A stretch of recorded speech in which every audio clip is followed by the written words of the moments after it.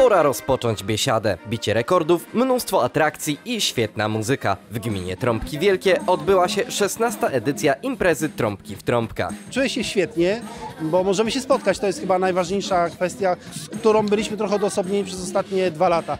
Dzisiaj od samego rana, też od godziny 10 trwał konkurs Mały Trębacz w Trąbkach Wielkich. Też już nie online, tylko face to face. Bardzo wysoki poziom, z czego się cieszę. A teraz część biesiadna. Wręczenie nagród w konkursie trąbkowym, bicie rekordu Guinnessa w grze na trąbce. Potem oczywiście występ Gwiazdy Wieczoru, m, czyli zespołu Poparzeni Kawą 3, ale też mamy niespodziankę, zespół z Ukrainy, który zaśpiewa. No już potem dyskoteka do pierwszej w nocy. Gmina Trąbki Wielkie to właśnie impreza Trąbki w Trąbkach. Coroczna impreza, która przyciąga wszystkich mieszkańców całej naszej gminy. To rzeczywiście ważne wydarzenie dla wszystkich mieszkańców, ale przede wszystkim taki dzień wielkiej radości i uśmiechu. Ja w dniu dzisiejszym chciałabym mieszkańcom gminy Trąbki Wielkie życzyć przede wszystkim rozwoju, zadowolenia z tego, że mieszkają w tak pięknej gminie, no i przede wszystkim tego, by mogli spotykać się coraz częściej. Nieodłącznym elementem każdej edycji wydarzenia jest bicie rekordu Polski w największej liczbie osób grających na trąbkach jednocześnie. Niestety w tym roku rekord nie został pobity. Jednak dla mieszkańców gminy Trąbki Wielkie nie ma powodów do zmartwień.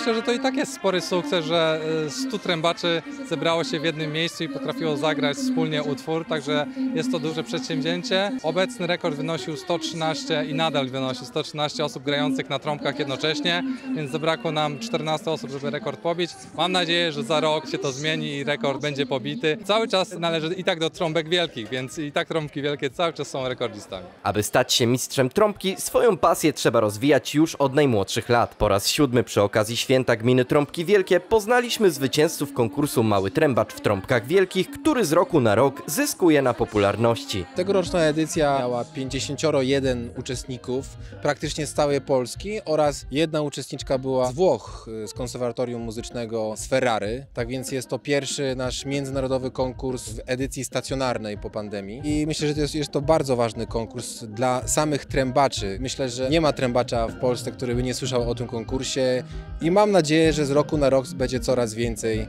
uczestników tego konkursu. Niektórzy uczestnicy spędzili długie miesiące przygotowując się do muzycznej rywalizacji. Trud i wysiłek często jednak popłaca. Y, około dwóch miesięcy musiałem ćwiczyć, żeby zdobyć tą nagrodę. Jestem bardzo szczęśliwy i.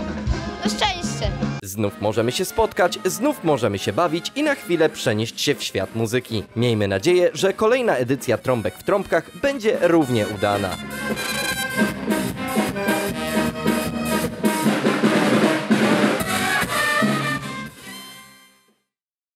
Polecamy również zobaczyć odcinek 14 Hildegarda i Marian Jaszczykowie oraz Postaw nam kawę. Polub nas na Facebooku, oglądaj na www.północna.tv i nie zapomnij subskrybować kanału.